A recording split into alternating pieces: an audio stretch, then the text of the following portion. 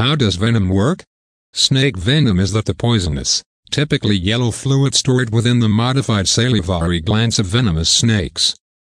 There are many venomous snake species that believe the venom they produce to debilitate and immobilize their prey. Venom consists of a mixture of proteins, enzymes, and other molecular substances. These toxic substances work to destroy cells, disrupt nerve impulses, or both. Snakes use their venom cautiously, injecting amounts sufficient to disable prey or to defend against predators. Venom works by breaking down cells and tissues, which may cause paralysis, internal bleeding, and death for the snake bite victim. For venom to require effect, it must be injected into tissues or enter the bloodstream. While venom is poisonous and deadly, researchers also use venom components to develop drugs to treat human diseases. What's in snake venom? Snake venom is that the fluid secretions from the modified salivary glands of venomous snakes. Snakes believe venom to disable prey and aid within the digestive process. The primary component of venom is protein. These toxic proteins are the explanation for most of the harmful effects of venom. It also contains enzymes, which help to hurry up chemical reactions that break chemical bonds between large molecules. These enzymes aid within the breakdown of carbohydrates, proteins, phospholipids, and nucleotides in prey. Toxic enzymes also function to lower vital sign, destroy red blood cells, and inhibit muscle control. An additional component of venom is polypeptide toxin. Polypeptides are chains of amino acids, consisting of 50 or fewer amino acids. Polypeptide toxins disrupt cell functions resulting in necrobiosis. Some toxic components of venom are found altogether poisonous snake species, while other components are found only in specific species. Three main sorts of snake venom, cytotoxins, neurotoxins, and hemotoxins. Although snake venoms are composed of a posh collection of poisons, enzymes, and non-toxic substances, they need historically been classified into three main types. Cytotoxins, neurotoxins, and hemotoxins.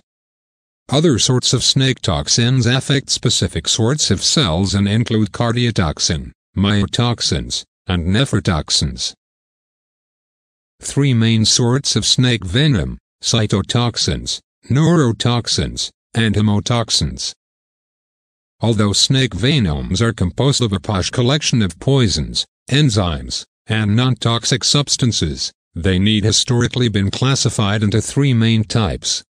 Cytotoxins, neurotoxins, and hemotoxins. Other sorts of snake toxins affect specific sorts of cells and include cardiotoxin, myotoxins, and nephrotoxins. Cytotoxins are poisonous substances that destroy body cells. Cytotoxins cause the death of most or all of the cells during a tissue or organ, a condition referred to as necrosis. Some tissue may experience liquefactive necrosis during which the tissue is partially or completely liquefied.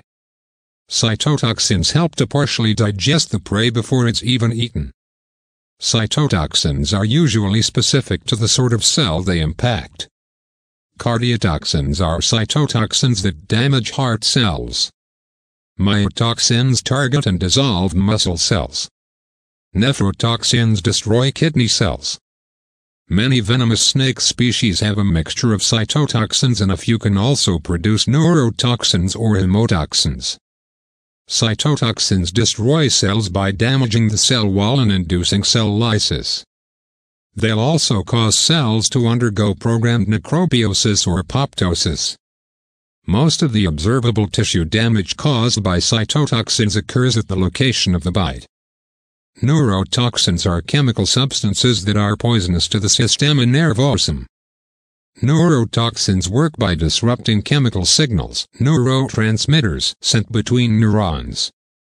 They'll reduce neurotransmitter production or block neurotransmitter reception sites. Other snake neurotoxins work by blocking voltage-gated calcium channels and voltage-gated potassium channels. These channels are important for the transduction of signals along neurons. Neurotoxins cause muscle paralysis which can also end in respiratory difficulty and death. Snakes of the Elapidae typically produce neurotoxic venom.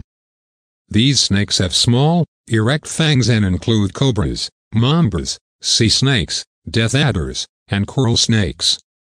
Examples of snake neurotoxins include 1. Calciseptine. This neurotoxin disrupts impulse transduction by blocking voltage-gated calcium channels. Black mambas use this sort of venom. 2. Cobrotoxin produced by cobras, blocks nicotinic acetylcholine receptors leading to paralysis.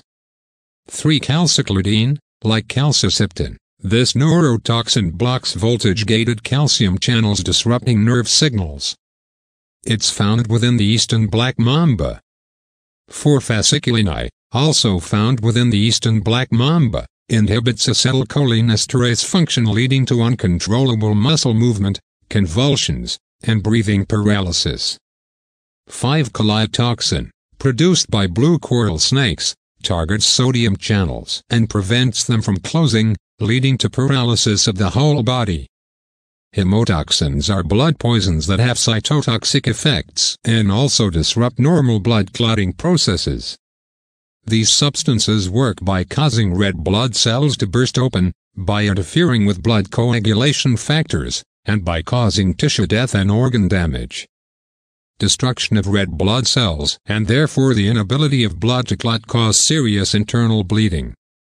The buildup of dead red blood cells also can disrupt proper kidney function.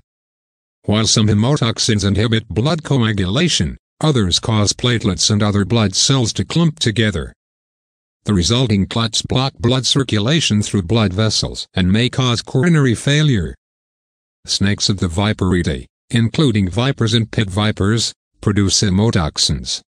Most venomous snakes inject venom into their prey with their fangs.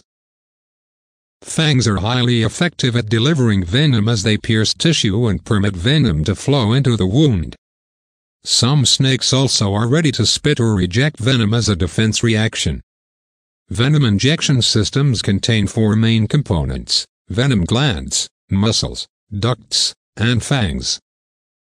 1. Venom glands. These specialized glands are found within the head and function production and storage sites for venom.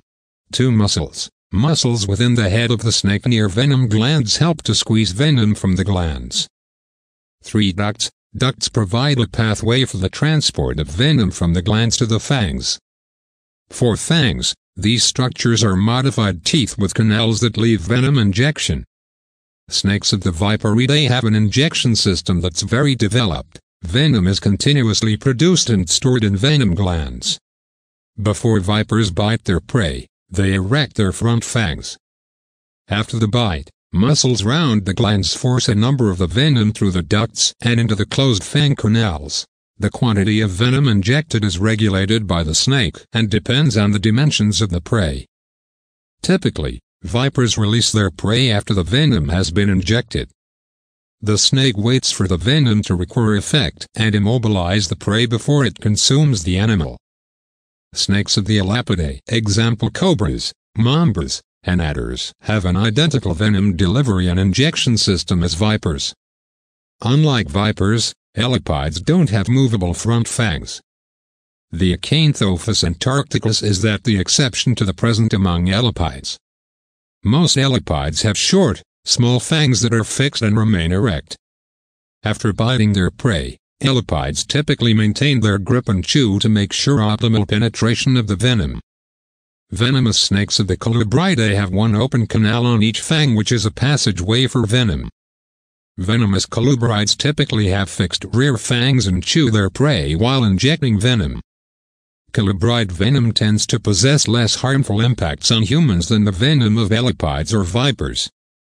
However, venom from the boomslang and twig snake has resulted in human deaths. Can snake venom harm snakes? Since some snakes use venom to kill their prey, why isn't the snake harmed when it eats the poisoned animal? Venomous snakes are not harmed by the poison used to kill their prey because the primary component of snake venom is protein. Protein-based toxins must be injected or absorbed into body tissues or the bloodstream to be effective. Ingesting or swallowing snake venom is not harmful because the protein-based toxins are broken down by stomach acids and digestive enzymes into their basic components. This neutralizes the protein toxins and disassembles them into amino acids. However, if the toxins were to enter blood circulation, the results could be deadly. Venomous snakes have many safeguards to help them to remain immune to or less susceptible to their own venom. Snake venom glands are positioned and structured in a way that prevents the venom from flowing back into the snake's body. Poisonous snakes also have antibodies or antivenoms to their own toxins to protect against exposure, for instance, if they were bitten by another snake of the same species.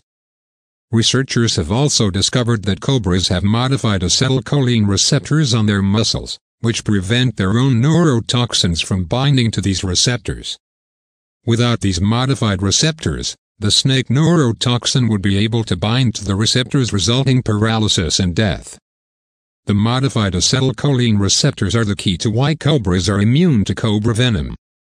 While poisonous snakes may not be vulnerable to their own venom, they are vulnerable to the venom of other poisonous snakes. In addition to the development of antivenom, the study of snake venoms and their biological actions has become increasingly important for the discovery of new ways to fight human diseases. Some of these diseases include stroke, Alzheimer's disease, cancer, and heart disorders.